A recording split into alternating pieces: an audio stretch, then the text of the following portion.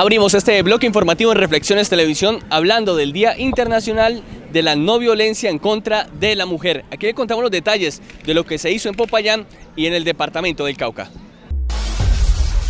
Estamos conmemorando el Día Internacional de la Lucha contra toda forma de violencia y discriminación hacia las mujeres. Es una fecha importantísima, no solamente para nosotras en el Departamento del Cauca, sino a nivel mundial.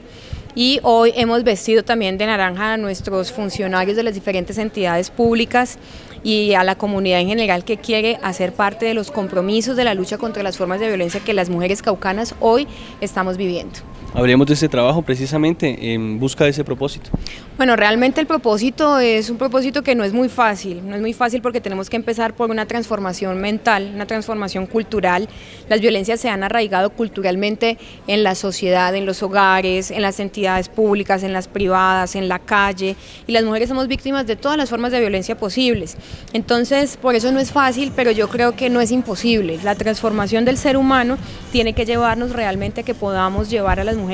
o conducir a las mujeres a que tengamos una vida libre de violencias. Y esa es el, ese es el papel fundamental eh, que la Secretaría de la Mujer hoy ha asumido y que obviamente el Villarrocío Cuenca nunca lo va a dejar de lado porque también como mujer me siento absolutamente comprometida en visibilizar, en apoyar el tema de prevención, también el movilizar la sanción y que obviamente las mujeres puedan sentir que las instituciones estamos trabajando en torno a esa lucha que han tenido frontal contra las formas de violencia existentes en Colombia y en el mundo. ¿Qué actividades se han realizado en esta jornada?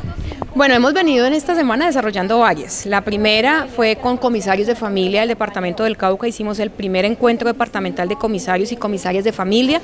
un encuentro en donde me sentí absolutamente satisfecha, los y las comisarias, ellos manifestaron todos que estaban muy contentos y muy contentas por la labor que se hizo desde la Secretaría de la Mujer que no se les había capacitado en los temas de violencia contra las mujeres. Y la comisaría es la puerta de entrada de las mujeres a la justicia. Ellas por ahí empiezan para que puedan atravesar la ruta de atención a mujeres víctimas de violencia y por eso me pareció importante que esa puerta de entrada fuera sensibilizada, que las mujeres sintieran que cuando llegan ya su comisario, su comisaria, eh, va a ser más oidor de su situación y va a generarle obviamente las alternativas de solución, va a aplicar las medidas de protección que corresponden a los comisarios de acuerdo a la norma y entonces este fue como el primer evento que hicimos en esta semana, eh, obviamente en el marco de la conmemoración de, de esta fecha tan importante. El día de hoy decidimos hacer algo en el parque, en el parque hicimos, colocamos una tarima, colocamos sonido y empezamos a hablarle a los transeúntes que estaban por allí que supieran que hoy estamos conmemorando un día que nos va a generar es reflexiones internas, porque no es festejar, no estamos festejando la violencia, estamos conmemorando la muerte de las hermanas Miragual que murieron por la lucha que ellas tuvieron eh, por todos los derechos de las mujeres. Ellas evidenciaban cómo las mujeres eran víctimas de violencia, cómo sus derechos humanos eran pisoteados, cómo las mujeres eran víctimas de violencia sexual y tristemente por esas luchas fueron asesinadas. Por eso hoy el 25 de noviembre se conmemora esa lucha de las mujeres por todas las formas de violencia que han existido, esa, esa lucha para que todo esto sea erradicado. Entonces invitamos también a funcionarios de entidades públicas para que se pusieran la camiseta y se comprometieran. Y hoy se pusieron la camiseta, la camiseta naranja diciendo desde mi entidad me comprometo a tal cosa. Tuvimos la Policía Nacional, comisarías de familia, medicina legal, el ICBF, eh, secretarías de despacho, estuvo Mundo Mujer, Fundación Innovagen, bueno, hubo una cantidad de, de instituciones presentes, comprometidas con esta conmemoración y esto nos lleva pues obviamente a pensar que vamos avanzando, vamos avanzando desde que las instituciones se comprometan, es un avance supremamente importante para que las mujeres puedan denunciar o acudir a estas entidades para que sean escuchadas. Y adicionalmente desarrollamos hoy aquí en el Salón de los Espejos un foro, un foro sobre nuevas masculinidades en el cual le estamos contando, pues la idea es llegarle a los hombres y que ellos también sepan que no dejan de ser hombres por el hecho de compartir los roles del cuidado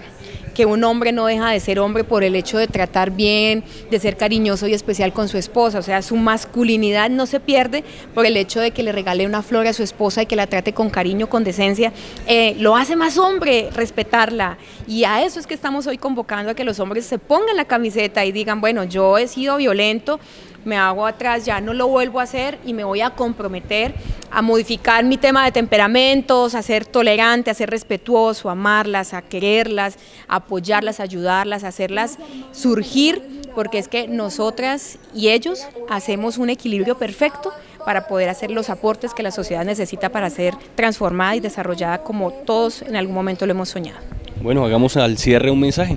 Mi mensaje fundamental es que todos y todas tenemos que ponernos de acuerdo. Aunque por ahí estaban diciendo que todos y todas no se diga porque la Real Academia dice que no,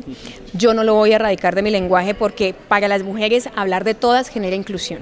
Y para mí es importante que las mujeres sean visibilizadas en estos espacios. Por eso la invitación es para que continuemos en esta lucha frontal para erradicar las formas de violencia, pero principalmente para que cada uno de nosotros quienes estamos viendo este mensaje, para que cada una de nosotras quienes estamos escuchando este mensaje, sintamos que tenemos absolutamente en equipo un compromiso para poder avanzar en esta lucha frontal que desde la Secretaría de la Mujer vamos a seguir transformando para que podamos construir nuestro Cauca territorio de paz.